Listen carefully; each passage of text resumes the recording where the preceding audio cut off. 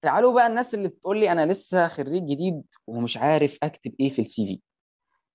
يعني اسمح لي أقول لك حرام عليك. أنت ممكن تكتب حاجات كتيرة جدا أو إحنا بنكتب حاجات كتيرة جدا. آه، أول حاجة هي ال contact information أو آه، معلومات التواصل. أنا دلوقتي ال CV بتاعك عجبني جدا وحابب أتواصل معاك هتواصل معاك إزاي؟ طيب حد يقول لي كده ال contact information دي ممكن تكون إيه؟ يعني ممكن آه، نكتب إيه في ال contact information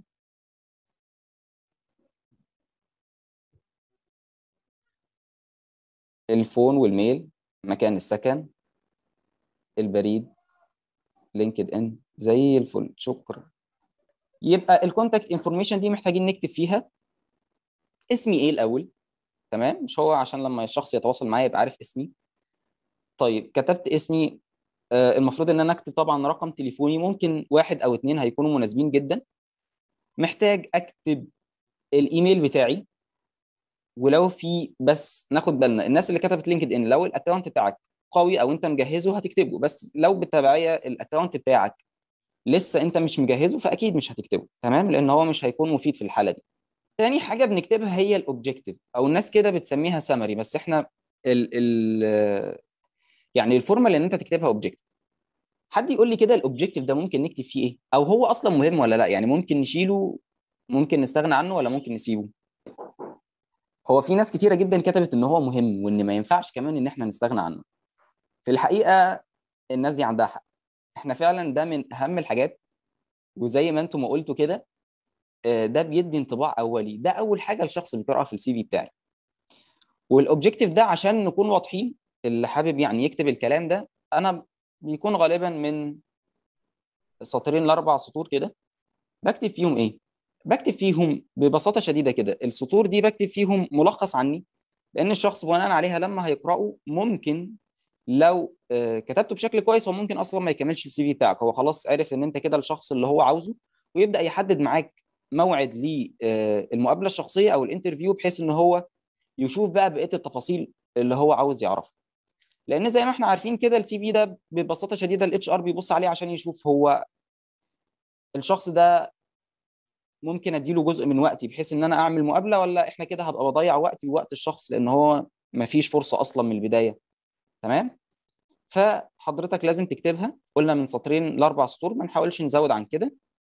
بتوضح فيهم ثلاث حاجات. آه، أول حاجة أنت مين؟ تمام؟ و... وتتكلم عن الخبرات بتاعتك اللي ليها علاقة بالوظيفة دي. تاني حاجة هنتكلم عن اشمعنى المجال ده؟ انت ليه ليه ليه المجال ده؟ تمام؟ أو دي تالت حاجة خلينا نقول تاني حاجة. تاني حاجة هو ليه الشركة تاخدك؟ وتالت حاجة هي ليه انت مقدم على الشركة دي؟ أو ليه المجال ده بالذات؟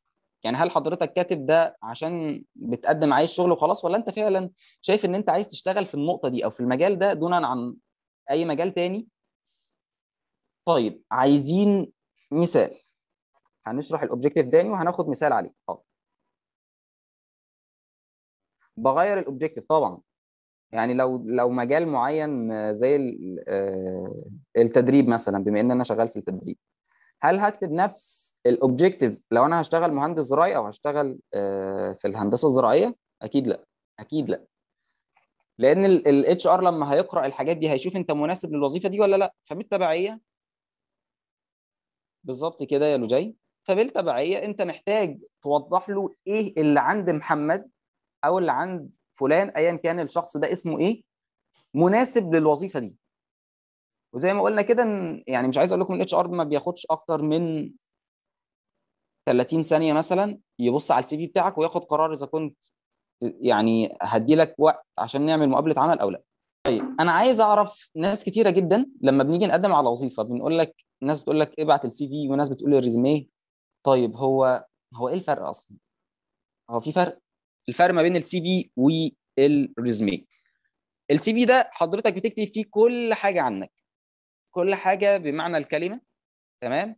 وده يعني ال- اللي اخترع الفكرة دي شخص آه، آه، استغلالي جدا لأن هو ال CV ده منتشر جدا في آه، بريطانيا عامة. لأن هو بيشوف إيه إن حضرتك دلوقتي عندك حاجات كتير صح؟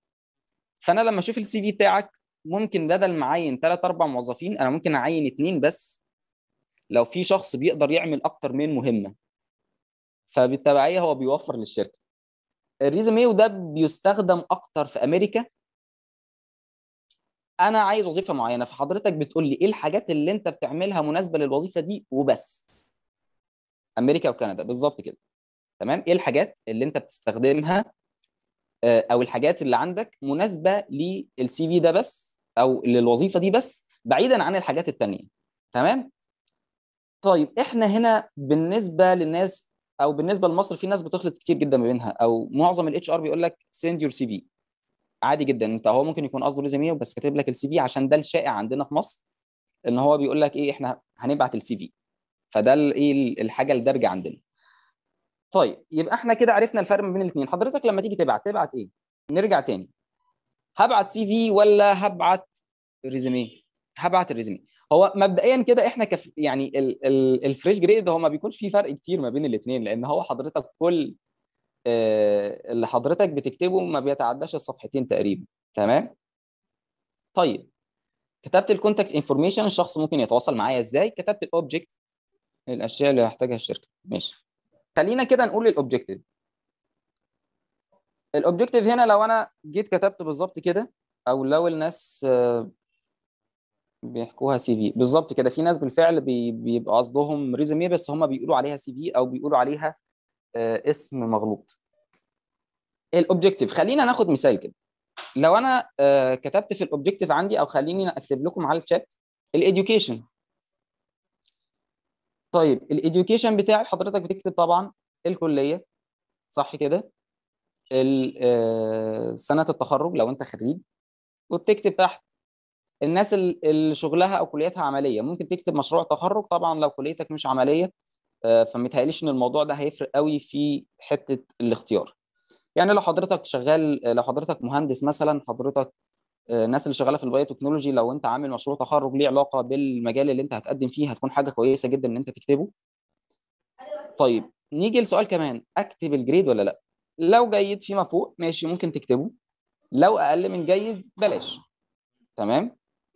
لأن زي ما قلنا ال- الشخص هياخد انطباع اولي عني فانا آه، مش عايز اديله انطباع سيء ولما أروح المقابلة أقدر اثبت له قد إيه ان أنا شخص مؤهل جدا للوظيفة دي وأنا قاعد معاه في المقابلة الشخصية.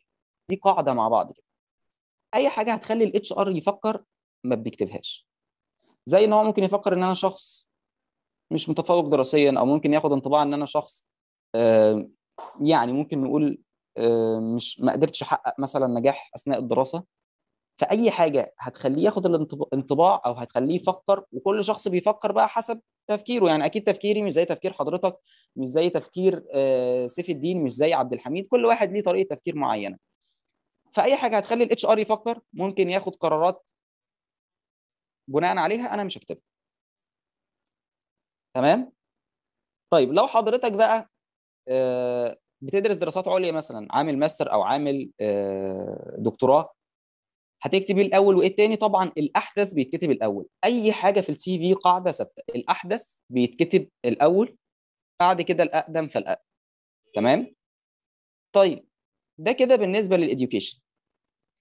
ال work experience أو خبرات العمل. المدرسة مدرسة إيه؟ أكيد مش هنكتب المدرسة.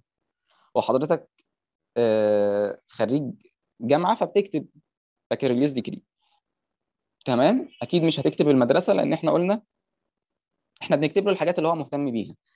طيب خلينا نفكر بشكل عام يعني سيبك من كلامي أنا. هل المدرسة دي آه، هستفاد إيه؟ هستفاد إن أنت لو كنت في مدرسة معينة ده ممكن يخليك شخص مناسب ولا لأ؟ ده سؤال أنا حابب أنتوا تجاوبوا عليا. إحنا دلوقتي هنفكر ك HR وكاصحاب business هيفرق معايا؟ لأ. يبقى مش هكتبه. تمام؟ بالظبط. أنا بكتب له الحاجات اللي اوري له بيها إن أنا أستاهل إن أنا آخد وقتك ولما أقعد معاك نبدأ إن إحنا نشوف إذا كنت شخص مناسب ولا لأ. فأي حاجة مش هتخدم الهدف ده مش هكتبها. تمام؟ ال work experience لو حضرتك آه، كنت شغال فبتكتب الوظيفة بتاعتك اللي أنت كنت شغالها بحدد السنة بتاعت الدرجة العلمية.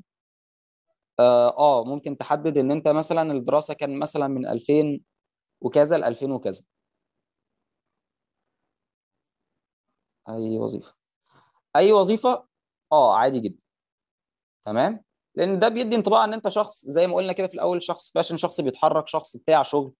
آه، أي وظيفة؟ آه ممكن تكتب أي وظيفة عادي جدا. قلنا ال work experience هكتب فيها إيه؟ هكتب فيها ال title بتاعي أنا كنت شغال إيه؟ هكتب اشتغلت هناك من إمتى لإمتى الفترة الزمنية. هكتب وصف آه، بسيط جدا لل job description أنا كنت بعمل إيه داخل الشركة؟ إيه الوصف الوظيفي اللي أنا كنت بعمله؟ واحيانا ممكن أستغنى عنها لو حاجة معروفة مثلا لو أنت كنت شغال customer service لو أنت كنت شغال sales فممكن آه تستغنى عنها أو تكتب سطر صغير جدا. بعد كده في حاجتين كده ورا بعض training و internship لو جيت تترجم الاثنين هيقول لك تدريب. طب إيه الفرق ما بين الاثنين ال training ده أي تدريب حضرتك بتاخده آه، ملوش علاقة بمجال الدراسة. تمام؟ يعني حضرت تدريب في استخدام برامج ال Microsoft Office. ده training ولا internship ده training. تمام؟ ال internship ده تدريب داخل مجال العمل. يعني لو حضرتك زي التدريب الصيفي رحت اتدربت في شركة معينة آه، ده بيعتبر internship أو بنسميه internship طيب يبقى كده الفرق ما بين ال training وال internship عشان لما تيجي تكتب ال training ده training انت أخدته آه، خارج مجال دراستك تمام؟ ال internship حاجة حضرتها أو تدريب حضرته داخل مجال دراستك. طيب إحنا كنا بنقول إني محتاج أعرف أو من ضمن الحاجات اللي أنا محتاجها في الشخص ده إن هو يكون بيتعلم. ده أشوفه إزاي في ال CV طيب الكورسز أنا بنصح الناس ممكن تاخدوا ال- ال- ال slide دي كده screenshot عندكم. الكورسز حضرتك دلوقتي عشان أنا أعرف إن أنت شخص تتعلم بتطور من نفسك ولا لأ عندك رغبة إن أنت تتعلم حاجات جديدة فأنا هعرف اعمل إيه؟ ال training اللي حضرتك بتاخده الكورسز حلو قوي. في حد قال لي محرم شكرا يا محرم. الكورسات الاونلاين الكورسات الاونلاين طبعا طبعا طبعا بنكتبها من ضمن الكورسز ودي من ضمن الحاجات آه، اللي بتكون حلوة جدا بالنسبة لي إن أنا أشوف إن الشخص ده بيجتهد وبيدرس مش بس بيحضر كورسات آه، مدفوعة ممكن كمان إن هو يكون بيدرس أونلاين. لأن حضرتك في الدراسة الأونلاين في أماكن كتيرة جدا. في أماكن كتيرة جدا تمام؟ آه، بتخليك أو بتدي لك شهادات يعني من جامعات خارجية وأنت قاعد في بيتك قدام ال lap بتاعك أو الكمبيوتر بتاعك بتذاكر. زي إيه؟ زي Coursera. زي Udemy خلينا مش عارف لو في slide كنت كاتب فيها الحاجات دي. طيب دي من أكتر الأماكن المعتمدة أو اللي بتقدم محتوى محترم جدا ممكن أنت تدرس فيها MOOCs أو تدرس فيها online courses زي Coursera زي edX Udemy FutureLearn Lynda وفي مواقع برضو بتكون عربية زي رواق وإدراك. في موقع طلع آه، جديد. هو موقع كويس جدا بس مش فاكر اسمه دلوقتي. كان اسمه إيه؟ مهارتك برضو دي حاجات كويسة جدا. حلو إن أنتوا بتتشاركوا خبرات مع بعض. آه، ينفع. أيوه شكرا يا زينب. آه، ينفع برضو من ضمن الحاجات اللي بتقدم محتوى عربي آه، كويس جدا تقدر إن أنت تستفاد منه. فدي كده معظم الحاجات اللي إحنا آه، ممكن نشتغل علينا فيها أو ممكن إن أنا أستخدمها. كورسيرا أنت بتاخد أصلا شهادات آه، من جامعات. يعني معظم ال- الكورسز اللي في Coursera بتكون جامعات خارجية و professors هم اللي بيقدموا المحتوى ده. دكاترة جامعيين هم اللي بيقدموا الكورس أو المحتوى ده وبيكون باسم الجامعة وبتاخد شهادة باسم الجامعة في الآخر. قلنا الكورسز وقلنا إن دي اونلاين أو offline هتكتبها. أكتب بقى ال- ال- اللي خدتها إمتى؟ لو الكورس بمجال غير التخصص نكتبها. آه، يعني مثلا مثلا من ضمن الكورسز ال- المشهورة جدا على Coursera وأكتر كورس ناس بتدخله هو learning how to learn أو إزاي الإنسان بيتعلم. بيتكلم فيه بشكل دقيق جدا الإنسان بيتعلم إزاي ليه بنشوف إيه هي ال learning illusions ليه ممكن أكون قاعد في محاضرة مثلا وبعد ما مر... وأحس إن أنا فاهم كل حاجة ولما أروح وأجي أطبق أو أحل exams عليها ألاقي نفسي مش فاكر أي حاجة أو مش عارف أحل. آه، هل دي ليها علاقة بمجال دراستي؟ لأ بس لو كتبتها هتكون حاجة حلوة جدا. هوضح له إن أنا شخص بهتم بنفسي وبهتم إن أنا أطور من نفسي. اسم الكورس learning how to learn. تعلم كيف تتعلم. اكتبها لكم مع الشات طيب آه على فكرة المواقع دي كلها بما إن حضرتك طالب في حاجة بتقدمها اسمها financial aid تمام؟ أو دعم مالي. لو حضرتك طالب فأنت بتملى آه form كده أو بتملى application على Coursera. هبعت لكم ده كله في آخر المحاضرة يا جماعة ما تقلقوش. حضرتك تقدر تملى application كده بيقعد 15 يوم وبيردوا عليك. منصة Coursera تمام؟ فبتوضح له بتقول له والله أنا طالب أنا شخص مش شغال فما عنديش مصدر دخل وحابب إن أنا الكورس ده هيفيدني في مجال عملي أو مجال دراستي وحابب إن أنا آخده for free آه وغالبا هيقبلك لأن ما فيش حد بيترفض يا جماعة خالص. آه فأي طالب بيخش بيقدم على financial aid أو دعم آه مالي للكورس ده بياخده. ما فيش حد بيترفض خالص. طيب دي الكورسز حد عنده مشكلة في موضوع الكورسات؟ فال training اللي بيكون فيه جزء عملي أو بيكون فيه شغل تقني أكتر الكورسز بيكون الغالب عليه الحاجة النظرية. تمام؟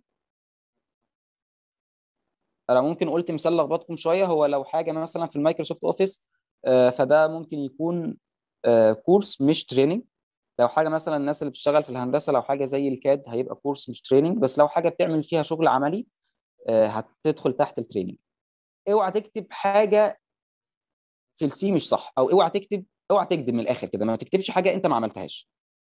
لأن هيظهر ولو ما ظهرش لو هنفترض ان ال HR ما عرفش الحاجة دي بعد شغلك لو اكتشف ان انت كتبت له حاجة في ال CV والحاجة دي مش صح هو ليه الحق ان هو يفصلك عن العمل؟ تمام؟ ليه الحق ان هو يفصلك عن العمل؟ الناس بقى اللي قعدت تقول لي طيب التطوع الأنشطة الطلابية ده كله اكتبه ولا لأ؟ طبعا نكتبه. بنجمع ده كله كده تحت بند واحد بنسميه ال extra الكلمة الرزله دي اللي أنا كل شوية بتلخبط فيها extracurricular activities أو الأنشطة الخارجية. تمام؟ دي أي حاجة نشاط طلابي أو student activity يعني volunteering أي حاجة تطوعية بنكتبها تحت البند ده. كمان لو حضرتك بتدخل مسابقات مثلا وحققت فيها إنجازات ممكن تكتبها تحت نفس البند ده. البند ده من أهم البنود اللي موجودة وزي ما قلنا لو نفتكر كده مع بعض قلنا إن من ضمن الحاجات اللي أنا محتاجها إن يكون الشخص ده بيشتغل في فريق إن يكون الشخص ده عنده قدرة على التواصل أو إن هو يتعامل مع الناس ويوصل فكرته بشكل واضح إن يكون الشخص ده عنده ثقة في نفسه. طب الحاجات دي أعرفها إزاي؟ لو أنت قلت لي إن أنت كنت في نشاط طلابي أو حاجة تطوعية فبالتبعية أنت كنت بتشتغل في فريق. فأنا خدت انطباع إن الشخص ده عنده مقدرة إن هو يشتغل في فريق. خدت انطباع إن الشخص ده قادر إن هو يكون ملتزم أو إن هو بيحب يعمل حاجات مفيدة في حياته زي قلنا حتة الباشن فبيدي انطباعات رهيبة رهيبة رهيبة. أي حد موجود معانا دلوقتي ما عندوش ولا خبرات تطوعية أو student activity لازم تفكر دلوقتي تشترك في حاجة وتكون الحاجة دي إنه بيهتم بال teamwork طبعا. مش إن هو بس بيهتم إن هو بالفعل اشتغل في فريق. هو ده طبق مش اهتم بس. فحضرتك ابدأ شوف إيه اللي أنت ممكن آه تطوع فيه في أماكن كتيرة جدا زي رسالة زي 57 3 57 رسالة بالمناسبة فيها أنشطة كتيرة جدا. ممكن تختار إيه الحاجة اللي مناسبة ليك. ممكن تختار الحاجة المناسبة ليك. يعني مش شرط تشترك في نشاط معين أنت مش حابه. ممكن نشاط طلابي أو آه نشاط تطوعي تكون حاجة أنت بتحبها. طيب اللغة. لو حضرتك فاكر إن اللغة دي حاجة مش مهمة حتى لو الأنشطة دي مش معروفة ما هو هيسألك يا جماعة هو أنتوا فاكرين ال HR ده يعني ال HR ده مش شخص مغفل تمام؟ حضرتك كتبت لي حاجة هقول لك طيب كلمني أنت كنت بتعمل إيه في الحاجة دي؟ طب الموضوع ده فادك في إيه؟ فبالتبعية لما هروح له المقابلة هو هيعرف إذا كان الحاجة دي مفيدة ولا لأ. هو هيستفاد إيه النشاط الطلابي؟ هنرجع تاني لحتة الهدف. إحنا بنتكلم دلوقتي يا جماعة بشكل عملي.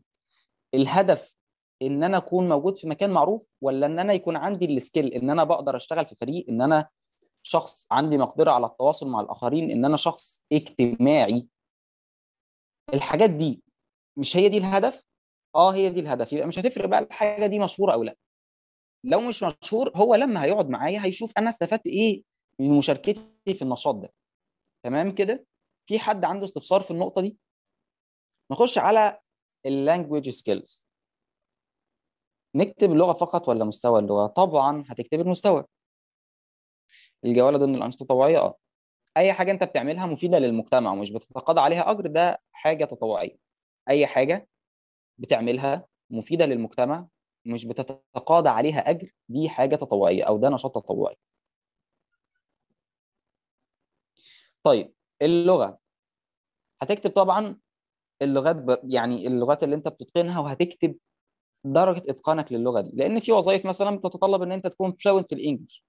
فلو حضرتك مش fluent مش هيكون مناسب ليهم. أو لو حضرتك كتبت له English أيوه يعني يعني إيه طيب؟ طب أنت يعني بتعرف تقرأ English ولا بتتكلم English طب ولو بتتكلم درجة الطلاقة بتاعتك قد إيه؟ دي حاجات كتيرة حاجات كتيرة جدا محتاج إن أنت توضحها. الكمبيوتر سكيلز طيب يبقى اللغة كده ناس كتيرة جدا هتسأل السؤال ده. أكتب لغتي الأم. طيب لو حضرتك بتقدم في وظيفة بتتطلب اللغتين فهتكتبها.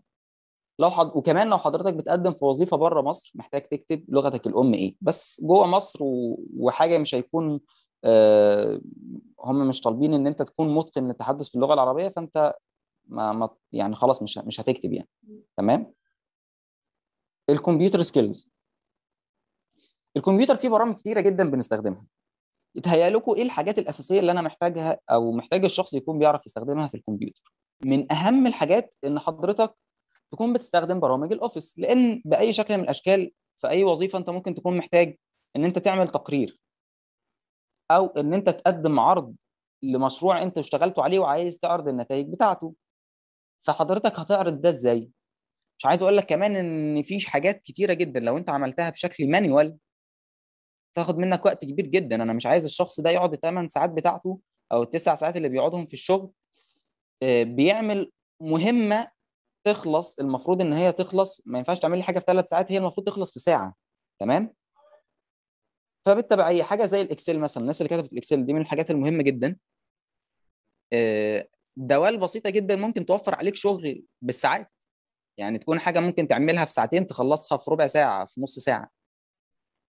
فده هيدي لك حتى لو حتى لو صاحب العمل مش هتفرق معاه هتفرق معاك انت. ليه تشتغل فترة أطول طالما تقدر تشتغل فترة أقل؟ فاهم قصدي؟ يعني ده بيحصل عندنا في المكتب مثلا التيم بتاعنا محتاجين نعمل تقارير معينة. فيجي فلان يخلص في ربع ساعة. فلان التاني ده ممكن يقعد ساعتين ثلاثة فلان ده خلص في ساعة فلان ده خلص في نص ساعة. بيعتمد على إيه؟ بيعتمد على حاجة دي skill مهمة جدا ليك أنت اتعلمها ال typing speed سرعة كتابتك على ال keyboard بتوفر عليك وقت رهيب. في فرق إن أنت تكون حافظ مكان الحاجات اللي أنت بتكتبها وبتكتب بسرعة في فرق ما بين الحاجات اللي أنت بتبدأ بقى كل شوية تدور على الحرف ده مكانه فين. أكيد ده هياخد منك وقت طويل جدا. محتاج طبعا جنب الحاجات دي لو حاجة ليها علاقة بشغلك. يعني لو حضرتك designer عايز تشتغل في التصميم فمحتاج تتعلم برامج التصميم زي ال Photoshop ال Illustrator ال After Effects الحاجات اللي هتكون ليها علاقة بشغلك. لو حضرتك مهندس بتشتغل على ال AutoCAD ال Revit بتشتغل على 3D Max فأنت لازم تكون متقن للبرامج اللي هتساعدك في شغلك. تمام؟ طيب. في ال computer skills برضه بكتب درجة إتقاني للحاجة دي. بكتب أنا beginner ولا مثلا intermediate ولا upper intermediate يعني أنا مستوى مبتدئ متوسط فوق متوسط خبير. تمام؟ ممكن تكتب excellent لو أنت يعني perfect في الحاجة دي. تمام؟ طيب ال personal information حد يقول لي كده سريعا هو إيه الفرق ما بين ال personal information وال contact information هو في فرق؟ ال contact information زي ما اتكلمنا كده قلنا إن هي الحاجات اللي بتساعد الشخص إن هو يتواصل معايا زي اسمي رقم تليفوني الإيميل بتاعي account مثلا زي LinkedIn لو أنا عامله بشكل كويس. ال personal information معلوماتي الشخصية زي مثلا تاريخ الميلاد الحالة الاجتماعية آه خلصت بالنسبة للشباب خلصت الخدمة العسكرية ولا لسه؟ تمام؟ طيب يبقى كده ده الفرق ما بين ال personal information ممكن نكتب الفرق ما بينهم ال personal information الحاجات الشخصية زي آه مثلا السكن مثلا آه زي أنت متزوج ولا لأ زي هل معاك رخصة قيادة ولا لأ دي مهمة جدا في شغلانات بتتطلب إن أنت يكون معاك رخصة قيادة تمام؟ هل أنهيت الخدمة العسكرية ولا لأ بالنسبة للشباب أو الأولاد؟ فدي حاجات ممكن تكتبها في ال personal information ال references الناس اللي كانت بتقول لي لو أنا اتدربت في صيدلية أو في مكان يعني حاجة مش معروفة. في أماكن لو واحد شغال مثلا في أماكن أو في شركات ممكن توفر عربية للوظيفة دي فأنت محتاج إن أنت تكون معاك رخصة قيادة. أو ناس مثلا زي اللي بتشتغل في العلاقات العامة أو السيلز بيحتاجوا إن هم يتنقلوا من مكان لمكان. فممكن لو أنت مش معاك عربية الشركة توفر لك عربية تستخدمها فلازم يكون معاك رخصة قيادة. أنا ليا صديقي مهندس زراعي نفس تخصصي برضو ميكنه زراعية بيشتغل إن هو في في المحالب الآلية. فبيضطر إن هو يسافر محافظات. لو في محلب هيركبه محلب آلي للأبقار أو كده أو محلب إلكتروني بيروح بيشرف على التركيب ده. فبيضطر إن هو بيسافر دايما. فهل هيسافر مواصلات؟ طبعا لا الشركة بتوفر له عربية عشان يروح ويجي بيها. فاه محتاج إن الشخص يكون أحيانا بحتاج إن الشخص يكون معاه رخصة قيادة. طيب ال references. ال references دي بقى بتكون لو حضرتك اتدربت في مكان ما وأنا ما أعرفوش أو عايز أسأل عنك أنت أدائك كان عامل إيه؟ تكتب تاريخ ميلادك؟ آه ممكن تكتب تاريخ ميلادك في ال personal information ال references دي عندك حاجة من اتنين أو حل من اتنين. ممكن بكتبها قبل الأخير. تكتب له references available upon request لما حضرتك تطلب مني. هبدأ إن أنا أدي لك ريفرنس للحاجة اللي أنت عاوز تسأل عنها. وممكن تكتب أشخاص بتكتب مثلا الشخص الفلاني. اتدربت معاه فين أو إيه المكان أو إيه الشغل اللي ربطني بيه. ووسيله تواصل وليكن رقم تليفون أو ميل ولازم لازم لازم ركز معايا في الحتة دي قوي. لازم الشخص ده يكون عارف إن أنت كاتب رقمه أو ايميله عندك عشان ما يتفاجئش لما حد يكلمه ويسالوا عنك. ما يبقاش الموضوع مفاجئ بالنسبة له. وبرده من الناحية الأخلاقية ما ينفعش أكتب رقم حد غير لما أستأذنه. تمام؟ زي الناس اللي كانت بتقول لو في صيدلية مثلا اتدربت ممكن هو ياخد انطباع عني يسأل عني يكون عايز يعرف حاجة عن شخصيتي أو يسأل كان شغلي عامل إزاي مع الفريق في الفترة دي؟ ده بيكون حاجة كويسة جدا. وممكن أنت تقول له والله لو حضرتك عايز reference لأي حاجة فده upon request أو لما حضرتك تطلب مني هقدر هبدأ إن أنا أوفر لك ال reference ده. إحنا كده خلصنا الجزء الأول. بكتب ال CV إزاي؟ نلخص ال CV سريعا. قلنا ال contact information ال contact information الشخص ده لما يحب يتواصل معايا هيتواصل معايا إزاي؟ ال object ال object ده أنا مين؟ أه هفيد الشركة في إيه أو إزاي؟ وليه أنا اخترت الشركة دي أو المجال ده؟ ال education بنكتب من الأعلى للأقل طبعا بما إنكم كلكم تقريبا أو كلنا تقريبا تعليم جامعي فهتكتب التعليم بتاعك أو البكالوريوس أو الليسانس زي ما أنت أخدت شهادتك يعني. لو في تعليم دراسات عليا بتكتب طبعا الحاجة الأحدث فالأقدم الأحدث فالأقدم. آه طيب في ناس سألت سؤال الصورة. بص لو أنت هتتكلم بشكل professional المفروض إن أنت ما تحطش صورة. تمام؟ وبرضو أنا ما أعرفش أخلاق ال HR يعني لو بنت مثلا ما. يعني ما يتقلش إن الموضوع هيكون ظريف إن هي تحط صورة لأن هو ممكن ي hire حد بناء على الشكل مثلا إن البنت دي شكلها حلو. فاحنا عايزينها مثلا تكون موجود معانا في الشركة أو أو أو أو. ده موجود قليل قوي قليل. صدقوني قليل بس ال formal ال formal إن ما تكونش حاطط صورة. إلا بصوا يا جماعة في حاجة بس حابب يعني أأكد عليكم فيها. أي حاجة إحنا بنقولها بنقولها لو صاحب العمل ما طلبش. يعني لو الطلب في الإعلان إن حضرتك تكون حاطط صورتك فأكيد ما تقوليش يا محمد أنت قلت لي ما تحطش. تمام؟ إحنا بنتكلم لو هو مش قايل أنا ما بحطش لأن ده ال formal بس لو هو طلب صورة بحط طبعا صورة. تمام؟ لو طلب صورة أنا بحط صورة. لو ما طلبش ال formal إن أنا مش بحط صورة.